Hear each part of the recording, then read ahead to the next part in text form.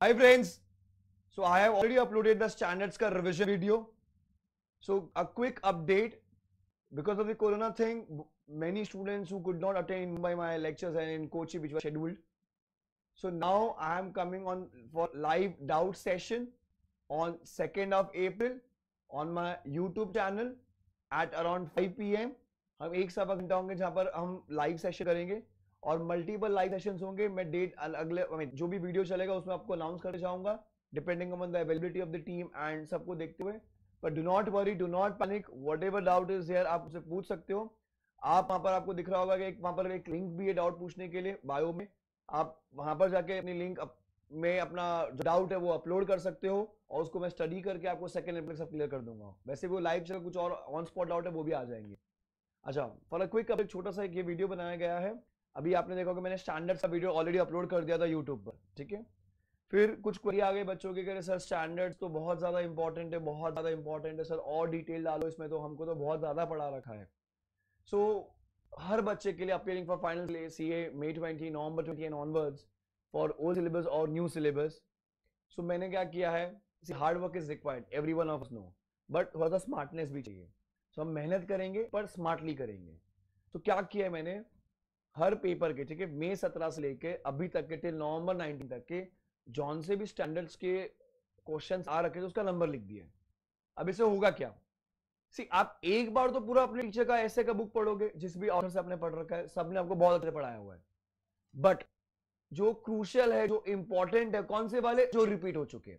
अब as a student आपके पास तो टाइम है नहीं, क्योंकि we are I think around 40 days left for exams ठीक है in case if appears on second starts on second May 2020 so so, आप क्या करोगे जो स्ट्रेस देना है कौन से रिपीट हो रखे हैं। तो मैंने बना रखा है। जैसे मई सत्रह में आप देखोगे सो ऑन एन एवरेज में हर बच्चों को ये कहता हूँ कि बस मान लीजिए पाँच क्वेश्चन आपको स्टैंडर्ड्स के दिखते हैं। जनरली हर एग्ज़ाम में हो जाता है। बाई चांस कभी वो छह हो जाते हैं पर मोटा मोटा पाँच ही दिखेगा आपको। ठीक है पाँच मतलब पाँच मार्क का एक क्वेश्चन पच्चीस मार्क जिसमें से तीन या चार आपको क्वेश्चन नंबर वन में मिलेंगे जो मेरे कंपल्सरी वाले होते हैं। तो पाँच या छह मार्क का क्वेश्चन आता है। जनरली अभी लास्ट दो टाइम से पाँच पाँच मार्क के क्वेश्चन आ रहे हैं। तो if I take five five of twenty marks के होते हैं? पच्चीस मार्क का ही मेरा स्टैंडर्ड से पेपर 120 मार्क का होता है इंक्लूडिंग ऑप्शंस ठीक है? सो मैं हर वक्त यही कह बस please concentrate please concentrate please concentrate on small topics company audit and code of ethics वो ज़्यादा स्कोरिंग है as compare to standards standards में क्या करना चाहिए? स्मार्टली प्ले करना चाहिए। जो भी रिपीट हो उसको ध्यान से देखिए। तो मैंने सी मई सत्रह, ठीक है? बाद में फ़ोटो खींच लीजिएगा नोट डाउन कर लीजिएगा जिसको जो भी करना है। मई सत्रह में ऐसे 600 आया, ठीक है? वन इंपॉर्टेंट 700 706 ये जो ओपिनियन होता वाला जो अपना ऐसे है, ठीक है, उसको लिंक करते हुए दिया है। तो दो अलग अलग क्वेश्चन नहीं है एक एक क्वेश्चन में दो ऐसे ट्रैक्ट हुए थे। Three one five three thirty भाई भाई है वहाँ पर। पाँच सौ थी पाँच सौ पाँच सौ ऑडिट एविडेंस अगेन रेफरेंस है सेम चार सौ इंपॉर्टेंट टू फोर्टी आया था क्योंकि फ्रॉड का सीज़न चल रहा था। टू फोर्टी अभी वेटेज कम हो जाते हैं बिकॉज़ मेरे सामने वन फोर्टी थी ट्वेल्व उसके लिए। अच्छा चौतीस सौ भी आया था बट वो हट चुका है that is not in syllabus तो जितने भी बॉक्स में कर रखे अब वो सिलेबस में नहीं रहेंगे नवंबर सेवेंटीन में वापस सात सौ पाँच रिपीट हुआ। तीन सौ बीस आ गया आपका। मटेरियलिटी वाला 570 गोइंग का जो क्वेश्चन 315 फिर रिपीट हुआ। चार क्वेश्चंस आए। नाउ मे अठारह से क्या हो गया? दोनों सिलेबस आते गए। सो मैंने न्यू और ओल्ड दोनों के लिखे हुए। So whether you are new आप दोनों पढ़ के पढ़ोगे। वेदर यू आर ओल्ड आप दोनों के पढ़ के चाहोगे अगेन 570 एंड 701 मतलब गोइंग कंसर्न को की ऑडिट मैटर क्योंकि नोटिफाई हुआ था, उसके थ्रू आ गया वो। 320 अगेन मटेरियल रिपीटेड 600 फिर रिपीट हो गया। 500 का जो क्वेश्चन तो मैंने लिखा ब्रैकेट में, वो ऑडिट एविडेंस का क्वेश्चन था, वो एक्सपर्ट पे था। मैनेजमेंट एक्सपर्ट जो आप करते हो, वो क्वेश्चन वो आ गया था। सो इफ़ यू डू 620 500 वाला अपने आप ये मैनेजमेंट एक्सपर्ट वाला हो जाता है, क्योंकि आंसर सेम है इसके। देन 250 आया 505 आया 610 आ गया। तो ये तो एक अटेम्प्ट था जहाँ पर ज़्यादा क्वेश्चंस पूछे गए इंस्टीट्यूट की तरफ़ से।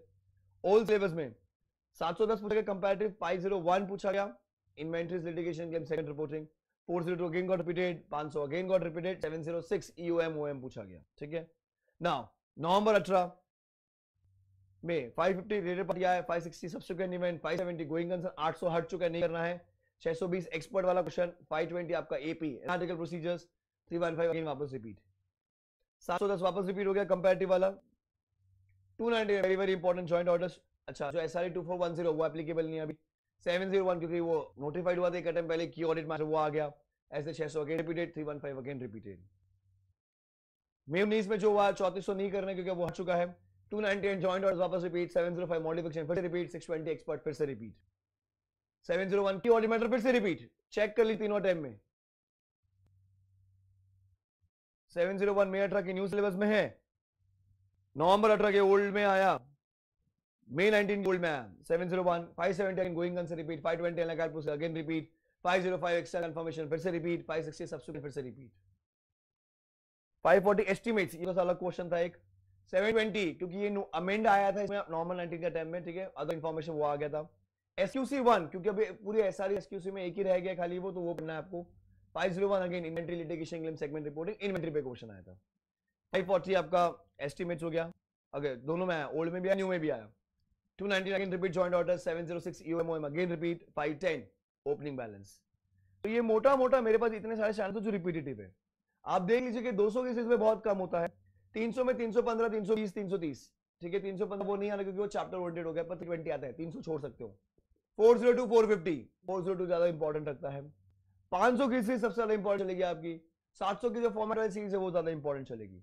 सो so, जिसके पास भी लिखने का टाइम इसको फ़ोटो खींच लीजिए। My request would be honest request guys do this ऐसे थरली एटलीस्ट जो आपके पीछे के जो चार अटेम्प्ट है normal nineteen May nineteen normal अठारह मे अठारह इनको आप अच्छे से कीजिएगा।